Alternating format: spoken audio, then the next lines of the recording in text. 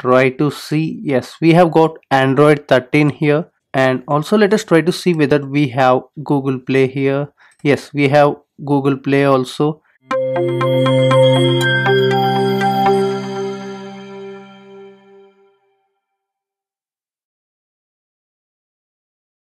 In this vlog we are going to upgrade our Android SDK to the latest version that is Android 13 and in our previous tutorial we have gone through the Android Studio upgradation Android Studio version that is Dolphin. And also we have discussed on the new Logcat implementations in this particular blog so I'm providing both these tutorial links in the description section below. And if you have not gone through this particular tutorial I suggest you to go through them before getting started with this particular tutorial. So now if you have gone through your build.gradle file you will be observing a warning here like not targeting the latest version of Android. So the latest version of Android is 33. So the version is 33 that is Android 13. So the first step we need to do is like we need to create an emulator. So to create an emulator we need to have the SDK platform installed on our system. So currently I have installed Android SDK platform 33 and also I want to install sources for Android 33 and also Google Play Intel x86 Atom 64 system image here. So why I am choosing this one is like x86 is considered to be the faster and also it is having Google Play. We can also make use of the applications which deals with Google Play services. So I am choosing this one Please let me know your choice if you differ with this in the comment section below. So now I'm just trying to install these two things and meanwhile you can just make it background so that we can continue with our work. So now let's try to upgrade it to the version 33 now and also it will ask for us to update this one as well so that both of them should be in sync and also I suggest you to update your SDK tools to the latest version here. That is 33.0.0 here. And also I'm making this to the background. Okay. Now let's try to create an emulator. Once our downloads are being completed let's start with our emulator creation. And here with the emulator creation I want to specify a few things over here so that it could be helpful for you whenever you are trying to create an emulator so you can select any of these devices here. And also you can notice here we are having an option like play store here. And you can see that there is a play store icon to the right hand side of the pixel. That is the name of the device.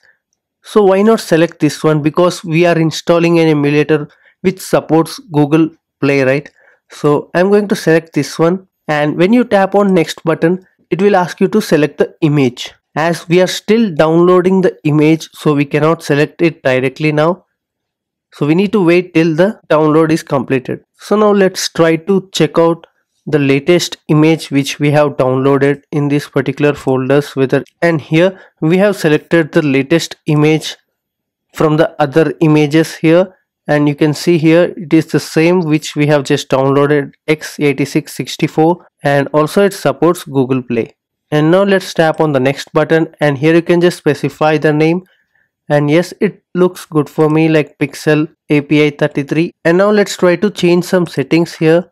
By default we have got like ram 1536 that is like almost 1.5 gb of ram. Virtual memory heap is like 228 mb here. And internal storage is 2048 and you can just change it here internal storage and also SD card you can change over here. Okay? Depending upon your requirement again. So I'm good with this particular configuration and I'm just trying to create this particular emulator now. And the initial size of the emulator is 513 MB and now let's try to launch this particular emulator. And here we can see an error like the emulator process for the AVD Pixel 4 API 33 has terminated and now the reason for this is like the emulator version is also latest version is available and we need to update it as well so here you can see the android emulator version is currently outdated and now I'm just trying to update it to the latest version available and once the latest version is installed I will again try to run the emulator and try to see whether it works or not. So whenever you are trying to create the latest version of Android 13 emulator or anything or anything above it. If you are facing these particular problems so this particular tutorial will be very much helpful for you to deal with. That is you need to update the emulator version here and also not only the emulator version here. If you go back to the SDK manager here try to update all the things which are outdated here. So currently we do have SDK build tools and all these things which are outdated and I will be updating them in the background. So installation of Android emulator is ready and it is asking us the permission to continue and yes. And now here you can see I have updated almost all the outdated packages here.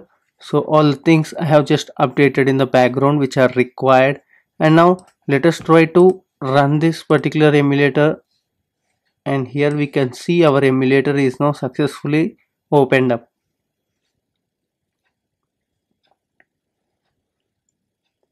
And I am using MacBook Pro so it's very fast in terms of uh, loading of the emulator. And also let us try to verify the Android version first. So let's go to the about emulated device here and try to see. Yes we have got Android 13 here. And also let us try to see whether we have Google Play here. Yes we have Google Play also. As we have also added Google Play at the time of uh, installing the packages. Okay. So this is a basic steps which we do to make sure our Android Studio is having the latest Android SDK update and in the coming tutorial we will try to see how to handle the push notifications in Android 13. So starting from Android 13 there is a limitation on the push notification. So the limitation is like till Android 13 that is for till Android 12 version push notifications are enabled by default and starting from Android 13 push notifications are disabled by default and users should grant the permission to receive push notifications. So this is how the new thing coming up in Android 13 and we'll be discussing more about it on our next vlog. So stay tuned to our channel and if you like this tutorial do like share and subscribe to our channel for more interesting content on Android.